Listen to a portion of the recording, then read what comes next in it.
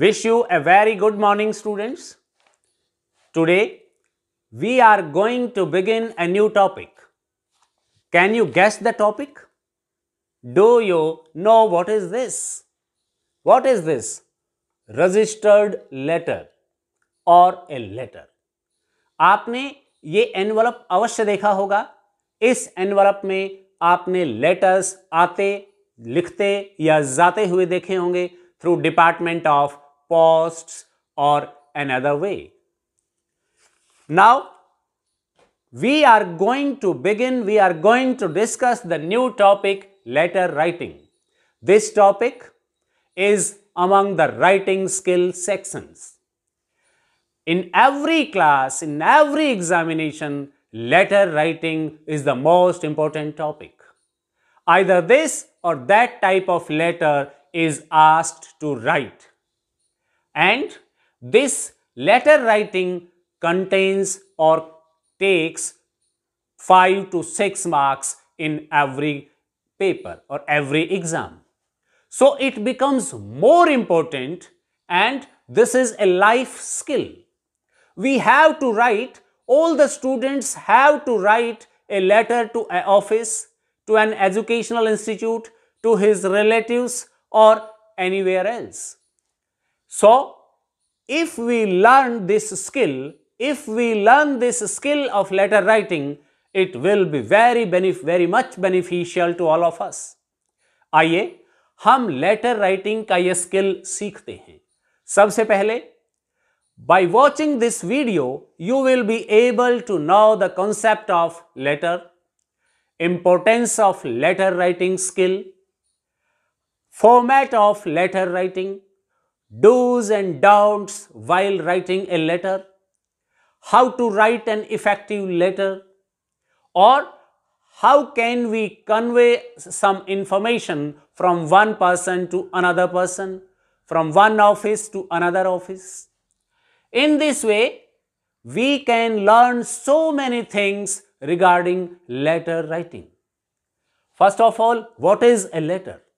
Letter is the oldest form of communication between two persons, between two nations, between two states, between two offices, between a person and an office or a company, between two relatives, between two friends, between two family members. This is the oldest way, oldest form of communication. This is the written communication between two parties दो लोगों के मध्य, दो कार्यालयों के मध्य एक बहुत ही सशक्त और लिखित संप्रेषण का साधन। In letter writing there are two person which are who are very much important one is the sender and the another one is the receiver the sender writes a letter and sends to the receiver and the receiver reads the letter, gets the information and responds to, to the sender again by writing a more letter. In this way, this is the way of oldest form of communication between two people, between two persons or offices.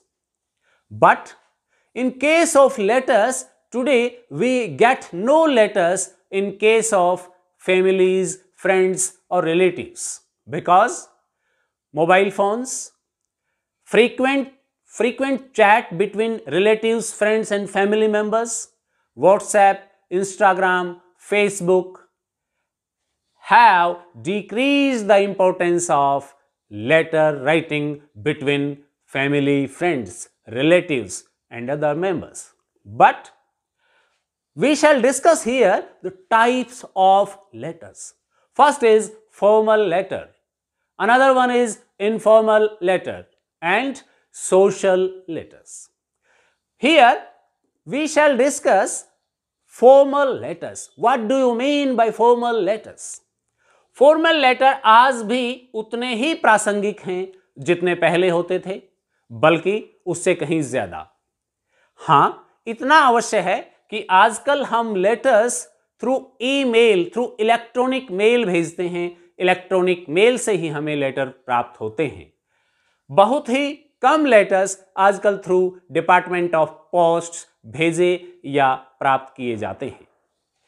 But we must have the skill of letter writing formal letter formal letter may be of many types For example, business or official letters.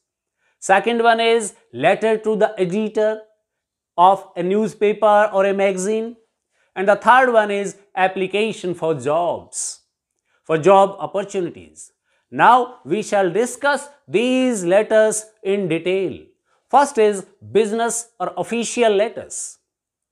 In case of business letters, the letters are written for inquiry, for placing orders of some products, cancellation of orders, complaints of products, reply or response letters, or official letters are usually written to some offices to know, to gain, or to give some information.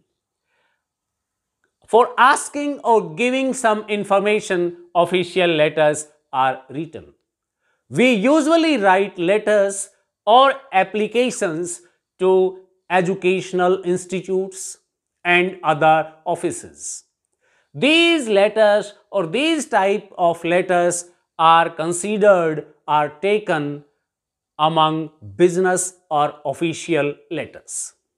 अब हम बात करते हैं letter to editor अगर हमें किसी information की को अवे पब्लिक को अवेयर करना है किसी इंफॉर्मेशन से। If we want to create awareness among people awareness among public then we have to write a letter to the editor of a renowned news or a magazine opinions suggestions are given are written on the issues of public interest public interest के जो issue होते हैं, उन पर अगर हमें अपने opinion या सजेशंस संबंधित ऑफ़िस को, मैनेजमेंट को, गवर्नमेंट को देना है तो हम लेटर टू एडिटर लिखते हैं which is very important this is written for या to create public awareness and the next is job applications Job applications are usually written to seek jobs, to find jobs, or it, it, to forward or resume for job opportunities to different institutions or organizations. In this way, we write these formal letters. If we know the writing skill of letters, we can get full marks in letter writing skill. Dear students हमने जाना एक formal letter क्या होता है? उसकी हमें कहाँ कहाँ आवश्यकता पड़ती है? आइए, अब हम सीखते हैं how to write a formal letter किसी भी लेटर को लिखने के लिए सबसे इंपॉर्टेंट पार्ट है इट्स फॉर्मेट अगर हम किसी लेटर का फॉर्मेट भी जान लें तो हमारे पास जो भी रॉ मटेरियल है या जो भी लेटर की स्टेटमेंट एग्ज़ाम में पूछी जाती है, उस स्टेटमेंट से हम बहुत कुछ निकाल कर उस फॉर्मेट में लिख सकते हैं अरेंज कर सकते हैं। And it becomes a letter an effective letter आइए हम बात करते हैं कि कौन कौन से इंपॉर्टेंट पॉइंट्स हैं एक लेटर के, जो एक लेटर में हमें लिखने ही चाहिए या लिखने होते हैं। अगर आप एक छोटा सा निमोनिक्स याद कर पाए तो उसका नाम है S D R S S B C S D R S S B C अगर आप इस निमोनिक्स को याद रख पाए तो यही वो सेवन पॉइंट्स हैं which are very important for a formal letter S D R S means sender's address D means D stands for date. R stands for receiver's address. S stands for subject. Next S stands for salutation. Next B stands for body of the letter. And the last C stands for complimentary clause. सबसे पहले हम letter लिखते समय सबसे पहले हम लिखेंगे sender's address अर्थात भेजने वाले का पता लिखेंगे कहाँ? यहाँ हम फॉर्मेट की बात भी साथ साथ करेंगे और उसको कैसे लिखेंगे, ये हम बाद में डिटेल से वन बाय वन सभी पॉइंट्स को डिस्कस करेंगे। सबसे पहले मान लीजिए ये आपका पेज है नोटबुक है या आंसर सीट का पेज है।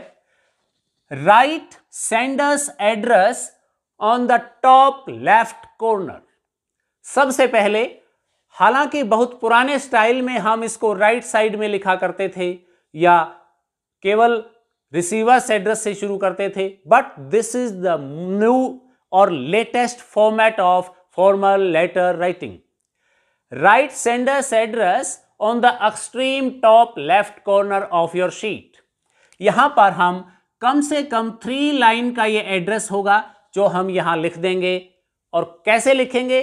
We shall discuss it letter next is date यहाँ पर हम एक लाइन ब्लैंक छोड़ देंगे ताकि प्रत्येक पॉइंट हमारा बहुत ही वेल ऑर्गेनाइज तरीके से दिखाई दे, हमारा लेटर बहुत ही सुंदर लगे। यहाँ पर एक लाइन ब्लैंक छोड़ते हुए हम लिखेंगे डेट डेट को लिखने के बहुत सारे तरीके हो सकते हैं। कुछ लोग इसे D D M M Y Y format में लिखते हैं। कुछ लोग इसे name of the month D D comma and then year लिखते हैं। वो हम बाद में डिटेल से डिस्कस करेंगे।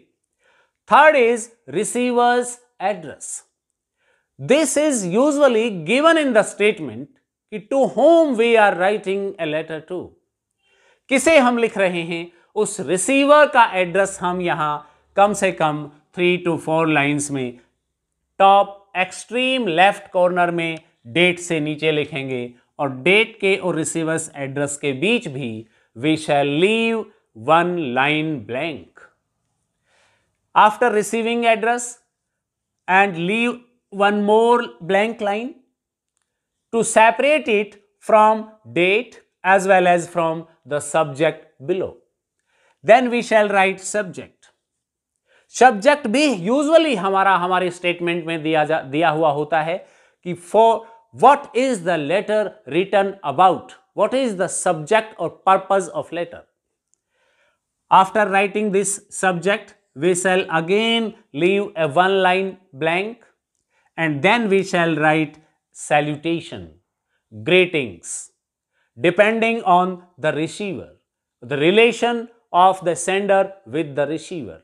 We shall write proper salutation and then we shall write the main part of the letter that is body of the letter.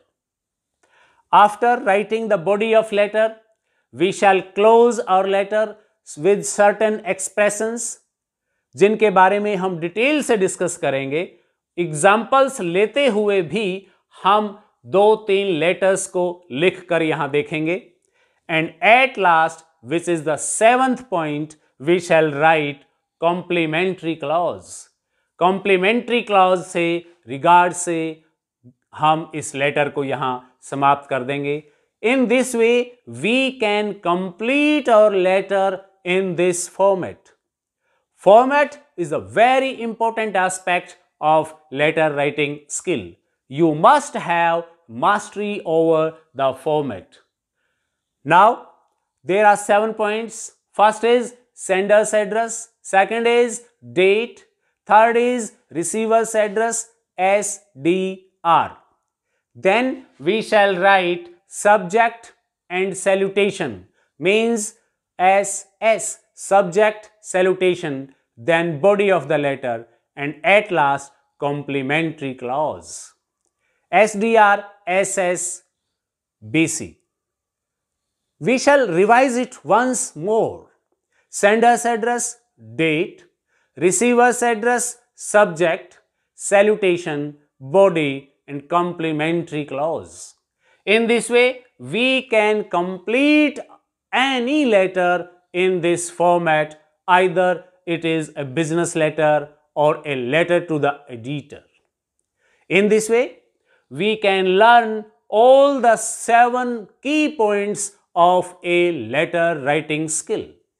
आइए, अब हम एक लेट एक फॉर्मल लेटर के सभी सेवन पॉइंट्स को डिटेल से डिस्कस करें कि किस प्रकार से हम सेंडर्स एड्रेस लिखेंगे, कहाँ लिखेंगे और कैसे, किस प्रकार से हम किसी भी लेटर में डेट लिखेंगे, कैसे हम रिसीवर्स एड्रेस लिखेंगे, कैसे हम subject salutation body and complimentary clause लिखेंगे।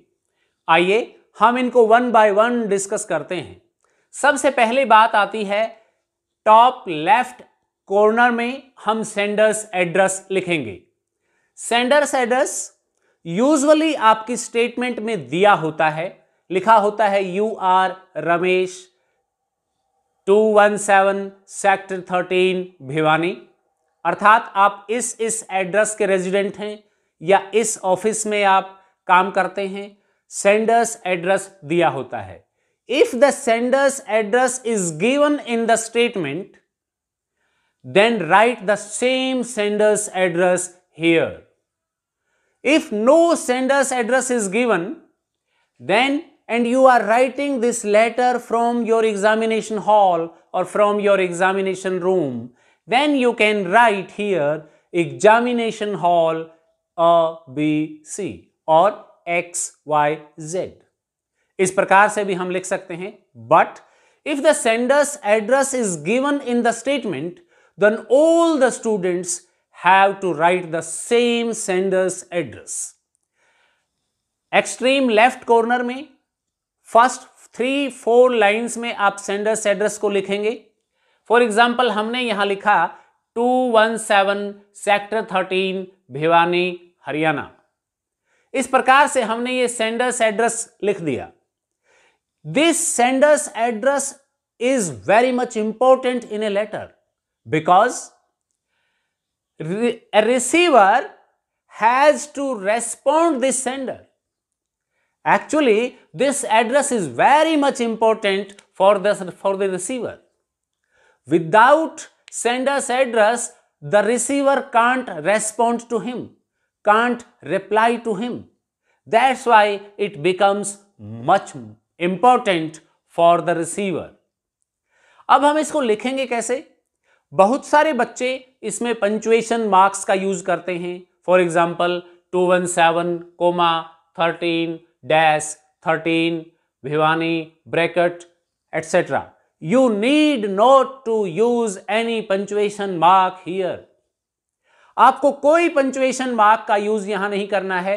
Without using any punctuation mark write directly if there is a number and a word then this is automatically separate and understandable आप समझ सकते हैं, ये डिजिट्स में लिखा है, यहाँ वर्ड्स में लिखा है। You need not to use any comma or any other punctuation marks while writing the sender's address in a letter इस प्रकार से हम लिख देंगे, यदि यहाँ पर सेंडर्स एड्रेस आपका स्टेटमेंट में नहीं दिया हुआ है then you can write here examination hall examination hall examination hall A B C you can write this as a sender sender's address. Then leave one, at least one line blank, ताकि ये वाला sender's address date से बिल्कुल साफ़ साफ़ अलग अलग दिखाई दे। नेक्स्ट पॉइंट इज़ डेट बहुत से बच्चे यहाँ पर पहले डेट लिखेंगे और फिर इसके बाद डेट को लिखेंगे।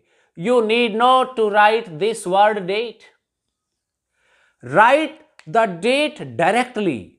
आप सीधा सीधा यहाँ डेट लिखिए। डेट लिखने के बहुत सारे तरीके हो सकते हैं। फॉर एग्ज़ाम्पल आइए हम कुछ तरीकों पर गौर करें। हम डेट को अक्सर, मान लीजिए आज थर्टियथ ऑफ़ अक्टूबर है, अक्सर हम डेट को इस प्रकार से लिख देते हैं। ऐसे लिख देते हैं, या केवल ट्वेंटी लिख देते हैं। इस प्रकार से डेट को लिखा जा सकता है। बहुत सारे बच्चे इसको इस प्रकार से भी लिख सकते हैं। लेकिन बहुत सारे बच्चे इसको इस प्रकार से भी लिख सकते हैं। इस प्रकार से भी लिख सकते हैं। कोई भी तरीका गलत नहीं है, लेकिन यहाँ आपको ध्यान ये रखना है कि कहीं ये वाला स्लैश, ये वाला डॉट या ये वाला कोमा हमारी डेट को लिखने में रिसीवर को कंफ्यूज तो नहीं कर रहा है। कई बार हम इसको इस तरीके से लगा देते हैं कि ये ऐसे हो जाता है। तो क्या हम इस डेट को अब पढ़ सकते हैं? Is it legible no I can't understand this is it हम इसको ऐसे पढ़ सकते हैं? तीन ज़ीरो वन थ्री थर्ड जनवरी और थर्टियथ नवंबर लाइक दिस तो इस प्रकार से लिखना रीडर को रिसीवर को कंफ्यूज कर सकता है। इसलिए हमें इन तरीकों से बचना चाहिए। Avoid writing modes of writing dates in a letter सही तरीका है you can write a date in the D D M M and Y Y format जो अक्सर एक मान्य तरीका है, आप इस तरीके से डेट को लिख सकते हैं। For example thirtieth tenth and two thousand twenty और 2020 या फिर आप नेम ऑफ़ द मंथ लिख सकते हैं, उसके बाद डेट फिर ईयर आप लिखिए, और डेट और ईयर को सेपरेट करने के लिए यहाँ हम कोमा का यूज़ अवश्य करेंगे. अदरवाइज़ होगा क्या? मान लीजिए, आप विदाउट कोमा डेट लिख रहे हैं अक्टूबर थर्टी ट्वेंटी मान लीजिए आपने ये लिख दिया. विदाउट कोमा और थर्टी, ट्वेंटी ट्वेंटी। तो इससे भी कंफ्यूजन होता है this is also not legible means illegible ये भी समझ में नहीं आता है, इसलिए हमें डेट को, इस यस को डेट से अलग करने के लिए we need to put comma here use comma here इसलिए ये, इन दोनों तरीके से अगर आप डेट लिखेंगे किसी भी लेटर में तो कभी कोई गलती नहीं होगी। October thirty twenty twenty very much clear you can use comma while writing the date in a letter then again leave one at least one line blank ताकि डेट को सेंडर्स एड्रेस से और डेट को नीचे वाले receiver's address से अलग अलग किया जा सके। साफ़ साफ़ देखा जा सके। नेक्स्ट इज़ रिसीवर्स एड्रेस हमने सेंडर्स एड्रेस लिखा। Next is receiver's address date and the next is receiver's address आपके जो लेटर की स्टेटमेंट होती है, जो क्वेश्चन होता है, उस क्वेश्चन में रिसीवर्स एड्रेस लिखा होता है। आपको क्या करना है? वहाँ से रिसीवर्स एड्रेस को लेकर केवल आपको इस लेटर के फॉर्मेट में वेल ऑर्गेनाइज्ड तरीके से अरेंज करना है। मान लीजिए, write a letter to the editor of a renowned newspaper, और वहाँ पर न्यूज़पेपर का नाम दिया हुआ भी हो सकता है। Write a letter to the editor of the Hindu New Delhi. New Delhi, इस प्रकार से अगर वहाँ पर कंप्लीट एड्रेस दिया हुआ है write the same address here over यदि वहाँ कंप्लीट नहीं दिया हुआ है write a letter to the editor of a newspaper फिर आप किसी भी इंग्लिश न्यूज़पेपर का नाम यहाँ लिख सकते हैं। कोई भी आपका नेबरिंग सिटी यहाँ लिख सकते हैं, जहाँ से वो स्पेसिफिक पेपर पब्लिश होता है। The editor the Hindu New Delhi इस प्रकार से हमने तीन या चार लाइंस में रिसीवर्स एड्रेस लिखा। यहाँ किसी फॉर्म का नाम हो सकता है। यहाँ आपको स्पेसिफिक ध्यान ये रखना है कि फ़र्स्ट लाइन में हम डेजिग्नेशन लिखेंगे। Write the designation to whom you are writing to. जिसे भी आप लिख रहे हैं, हो सकता है वो किसी स्कूल का प्रिंसिपल हो, किसी कॉलेज का प्रिंसिपल हो, किसी यूनिवर्सिटी का वाइस चांसलर हो हो सकता है वो किसी कंपनी या किसी फर्म का मैनेजर हो।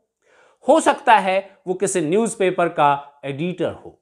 यहाँ पर आप फ़र्स्ट लेटर इनके कैपिटल लिख सकते हैं। और don't use any punctuation mark. Designation लिखने के बाद आपको उसका नाम, उसका एड्रेस यहाँ लिख देना है। बट यहाँ पर आपको नेम ऑफ़ द रिसीवर नहीं लिखना है। Never write the name of the receiver चाहे बेशक वो वहाँ दिया हुआ है। Always write designation name of the office and name of place without using punctuation marks इस प्रकार से हमने देखा how to write sender's address in a letter how to write date and how to write receiver's address जितने भी seven के seven की points की हेडिंग्स की टाइटल्स हैं हमारे लेटर के, प्रत्येक पार्ट के बीच में एक लाइन खाली छोड़ना ना भूलें, ताकि सभी पार्ट्स सेपरेटली साफ़ साफ़ दिखाई दे सकें। रिसीवर को सेंडर्स का एड्रेस दिख सके सेंडर को रिसीवर का डेट साफ़ साफ़ दिखाई दे सके, सभी पार्ट्स को सेपरेटली हम लिखेंगे leaving at least one line blank between all two between every two parts of a letter अभी तक हम तीन पॉइंट्स डिस्कस कर चुके हैं how to write sender's address date and receiver's address next point is subject this is a very important point of a letter subject हम एक line में ही सब्जेक्ट को लिखें। इसमें हम कोई बहुत लंबा चौड़ा सेंटेंस या लंबा चौड़ा तीन चार लाइन का सब्जेक्ट कभी ना लिखें। Subject should be short brief precised and it should state the exact purpose of the letter जो हमारे लेटर का मेन पॉइंट है मेन थीम है या मेन पर्पज है सब्जेक्ट उसको स्टेट करता हुआ होना चाहिए, उसको एक्सप्रेस करता हुआ होना चाहिए। रेसिपेंट के लिए कई बार रेसिपिएंट केवल सब्जेक्ट को देखता है, ना कि उसकी कंप्लीट बॉडी सब्जेक्ट पर जैसे ही उसकी नज़र जाती है ही sends the letter to the specific or prescribed seat to the person to the right person for which the letter is for so subject should be short but it should be catchy catchy means एकदम देखते ही उसका ध्यान recipient का या reader का subject पर ही जाता है तो subject should be catchy and it should state the purpose of the letter it should not be more than seven to eight word हम किसी भी टॉपिक का, किसी भी लेटर का सब्जेक्ट सेवन से एट वर्ड से ज़्यादा ना लिखें। मान लीजिए we are writing a letter to the editor then and the subject is polluted water supply and we have to complain complaint regarding polluted water supply complaint regarding erratic electricity supply इस प्रकार से हो सकता है। If you are writing this letter to a businessman to a business firm then you can write regarding placing and order for so and so products cancellation of order in this way we can write subject in a short and catchy way stating the exact purpose of the letter. Next is, after subject, we write salutation. And in case of salutation it becomes very important हम जिसे भी letter लिख रहे हैं, क्या हम उसे जानते हैं? इफ़ आई नो यदि मैं जानता हूँ for example a student is writing a letter to school administration or the school principal and he knows, he or she knows who is the principal. If the principal is a male person, then he or she or a student should write, Sir. Sometimes we write, Dear Sir, Esteemed Sir, Respected Sir. As per my opinion, I think we need not to write many adjectives before this word Sir or madam? Because sir and madam are themselves respected words. Sir और madam अपने आप में ही respected words हैं। इससे पहले हम esteemed respected और डियर सर और डियर मैम ना लगाएँ तो ही अच्छा है। यहाँ पर आप, यदि आप जानते हैं that the boss or the person whom you are writing to is a male person then just write sir. If the person whom you are writing to is a female person then write madam. And if you don't know either he is male or she is female then write sir oblique madam. That is sufficient. You have to write the letter to some officials, editors or businessmen or other officials. Then just write sir or ma'am or sir oblique madam. This is, this will be sufficient to write. Next is body. यहाँ पर हम subject और salutation के बीच भी एक line blank छोड़ देंगे और सेल्यूटेशन के बाद भी एक लाइन ब्लैंक छोड़ते हुए we shall write we shall begin writing the body of the letter as far as the body of the letter is concern the body is the main part of any letter this is the main part first of all we have to write the body at least in three paragraphs, short paragraphs. We have, we need not to elaborate the body in two, one and half pages or more than two pages. We have to complete it in more than half page of a register. Now, whatever is the subject, to whomever we are writing to, we should we should divide the body of the letter into three paragraphs, para 1 para 2 and para 3 चाहे कोई भी subject हो, आप body को तीन short paragraphs में बांट लीजिए। पैरा वन अब पैरा वन में हमें लिखना क्या है? पैरा टू में क्या लिखेंगे और पैरा थ्री में क्या होगा? आइए, इस पर हम थोड़ा सा प्रकाश डालते हैं। पैरा वन पैरा वन में हमारा जो लेटर का जो पर्पज है, वो होना चाहिए। पर्पज, मेन आइडिया और रेफरेंस टू समथिंग। आप किसके रेफरेंस में ये लेटर लिख रहे हैं?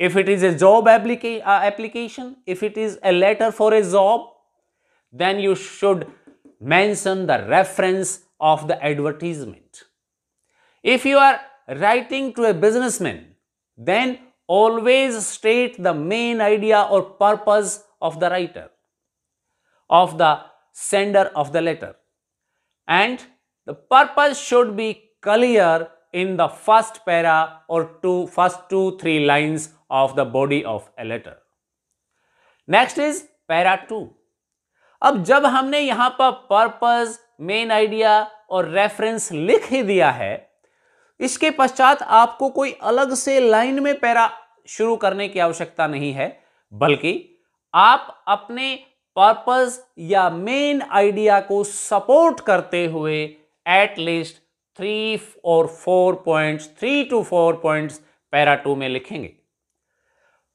We have to elaborate three elaborate our purpose or main idea by writing three to four points to support the purpose using our own observations उस चीज़ के बारे में, जिस बारे में भी हम लेटर लिख रहे हैं, मैं आपको जनरल बता रहा हूँ कि जनरल सेंस में हम क्या करेंगे। जो भी हमारा पर्पज है, उस पर्पज को सपोर्ट करते हुए थ्री टू फोर पॉइंट्स हम यहाँ लिखेंगे, ताकि वो पर्पज वो प्रॉब्लम वो इशू या वो जो भी पर्पज है, वो यहाँ स्पष्ट हो जाए कि हम चाहते क्या हैं या वॉट एग्जैक्टली हैड हैपन्ड कि हुआ क्या है। At last para three which is very important for the body of any letter para three should state or we should sum up the letter para three में हम letter को sum up करेंगे। With a polite request चाहे हम मान लीजिए हम cancellation of order की बात कर रहे हैं, या किसी इशू की तरफ़ हम किसी का अटेंशन को अट्रैक्ट करना चाहते हैं, कुछ भी है but we should never be impolite we should always be polite in a formal letter while summing up the body of the letter polite request wish idea we should give some suggestions or we must appeal to the authorities या हमें अपील करनी चाहिए। वो appeal वो suggestion वो wish या फिर वो आइडियाज़ जो हम देना चाहते हैं, वो सॉल्यूशन जो हम सुझाना चाहते हैं, उन्हें, उन सॉल्यूशंस को हम पोलाइट रिक्वेस्ट करते हुए ही अपनी बात को रखें, या लेटर की बॉडी को समअप करें। इस प्रकार से एक बहुत ही सुंदर बॉडी हमारी तैयार हो जाएगी। अगर हम यहाँ बात करें डिवीज़न ऑफ़ मार्क्स की, जितना इंपॉर्टेंट ये स्टार्टिंग के पॉइंट्स लिखना है, उतना ही इंपॉर्टेंट बॉडी लिखना भी है। अब हम डिस्कस करेंगे last point that is complimentary clause कि कैसे हम कॉम्प्लीमेंट्री क्लॉज को लिख सकते हैं या किस प्रकार से हमें कॉम्प्लीमेंट्री क्लॉज लिखना चाहिए। And at last complimentary clause in case of complimentary clause जहाँ भी हमारी बॉडी ऑफ़ लेटर समाप्त होती है, उसके तीनों पैसेज समाप्त होते हैं, हमारे सजेशंस ओपिनियंस या फिर हमारी एक पोलाइट रिक्वेस्ट जो है समाप्त हो जाती है, उसके बाद हम politely depending upon the person whom we are writing to हम एक कॉम्प्लीमेंट्री क्लाउज करेंगे। It will be the end of our letter ये हमारा अंतिम स्टेप होगा। If you are writing the letter to an official or to a business firm then we should end our letter with yours truly or yours sincerely or yours faithfully यहाँ पर अक्सर एक छोटी सी गलती जो अक्सर देखी जाती है, वो ये कि बच्चे इस योर्स को अपस्ट्रफी लगाकर इस तरीके से लिख देते हैं, जो कि आपको नहीं लिखना है। यहाँ आपको केवल एक प्रोनाउन के रूप में एस लगाते हुए योर्स लिख देना है, ना कि अपस्ट्रफी लगाकर। सेकेंडली योर्स का वाई हमें यहाँ कैपिटल लिखना है, लेकिन ट्रूली का टी स्मॉल लिखेंगे या सिंसियरली का एस स्मॉल लेटर लिखेंगे या फेथफुली का एफ़ स्मॉल लिखेंगे। यहाँ पर हम इस तरीके से कभी ना लिखें yours faithfully yours faithfully don't write like this this is wrong always use first letter capital and then next initial letter of next word small yours truly yours sincerely और योर्स फेथफुली एक और गलती जो यहाँ देखने को मिलती है, वो ट्रूली को लिखने में मिलती है। बच्चे अक्सर ट्रूली को, क्योंकि true T R U E होता है, जब हम इसमें एल वाई एड करते हैं तो we have to remove E before adding L Y to it and it becomes T R U L Y ना कि T R U E L Y जो कि गलत स्पेलिंग्स हैं। आपको यहाँ ध्यान रखना है ट्रूली सिंसियरली और faithfully if you are writing a letter to an official और ए बिज़नेस फार्म और owner but if you are writing the letter to your principal or to your teachers, your class in charge or in charge of some uh, another event then always use yours obediently because students are obedient to their teachers and principals.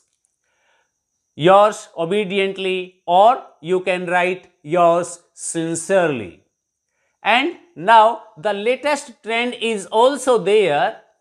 Sometimes it is also written sincerely yours. Sincerely yours. You can write like this also. Sincerely yours. In this way, we can end our letter by writing this short, this short complementary clause. If you are writing the letter to your family members, relatives or friends, if the letter is informal one, then this complementary clause will change completely. Then we have to write yours lovingly, yours loving son, loving brother, loving sister or loving friend or yours affectionately. In this way, this complementary clause gets changed while writing the letter to our family, friends and relatives. And at last, if you are writing an official letter where it's necessary, it's necessary to make your sign or to put your sign at the end of the letter, then write the write your name. If the name is given in the statement, then write the same name here. If no name is given, then write yours name or name of yours or if you are writing this letter in an examination, then write ABC or XYZ here and put your signature above your name. Write your name in capital letters and then put your signature above your name at the end of the letter. In this way, we can write an effective letter either is it is a formal letter or an informal one. Follow these instructions, these rules and write an effective letter. आइए अब हम एक exam कुछ examples के माध्यम से through some sample examples through some sample solutions we shall write how to write different types of letters. Thank you very much.